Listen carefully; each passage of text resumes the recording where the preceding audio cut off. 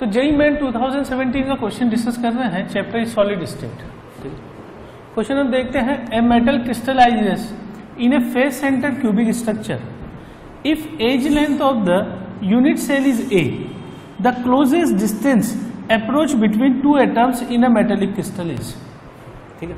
Closest distance का मतलब होता है कि दो एटम यदि एक दूसरे को टच कर रहे हैं तो उनके बीच की डिस्टेंस कितनी होगी? ठीक है? Now we are going to study FCC structure face centre cubic structure का मतलब क्या होता है कि atoms are at all corners ठीक है?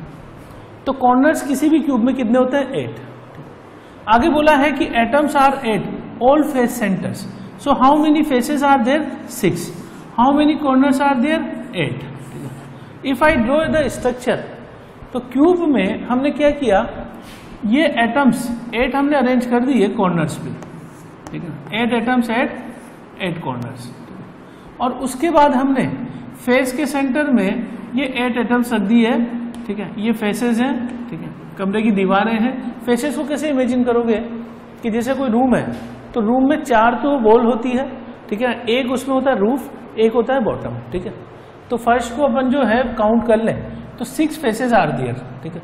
उन सबके बीच में सेंटर में हमने इस तरीके से एटम रख दिए अब मैं किसी पर्टिकुलर एक फेस का प्रोजेक्शन इधर लेता हूँ। तो फेस का प्रोजेक्शन कैसे होगा कि अगर मैं ये फेस बना रहा हूँ तो ये कोने वाले एटम्स है हमारे पास, ठीक है? और ये फेस का सेंटर है। This is this atom is present at face centre ठीक है?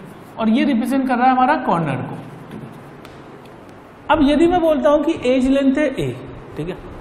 अगर एज लेंथ ए है, ये एज लेंथ भी ए है तो इस सेंटर से ये सेंटर डिस्टेंस ठीक है? तो इसको अगर अपन इधर सोल्व करते हैं तो this is a length this is also a length so this dimension will be root two a ठीक है? This is called edge face diagonal ठीक है? अब फेस डायगोनल पे जो एटम टच कर रहे हैं दो, अगर मैं दो एटम कंसिडर करूँ ये वाले तो इनके बीच का क्लोजेस्ट डिस्टेंस ये होगा एकदम यहाँ पर। किसकी बात कर रहा है question closest distance of approach between two atoms so he is asking about this distance अब ये डिस्टेंस कहाँ होगी? अगर ये पूरी डिस्टेंस जो है the whole distance is root two है तो half of it will be this तो सोल्व करें इसे तो आंसर कितना आ जाएगा? ए बाई रूट टू तो बीसीसी में यदि पूछा जाए कि what is the minimum distance between two atom तो दो एटम जो टच कर रहे हैं, वो ये हैं। इनके बीच की डिस्टेंस अगर ये एज लेंथ ए बोली, ये ए बोली तो ये पूरी डिस्टेंस रूट टू ए है। और इनके बीच का क्लोजेस्ट डिस्टेंस है ये वाला तो ये आधा होगा फेस डायगोनल का means root two a divided by two so answer is a by root two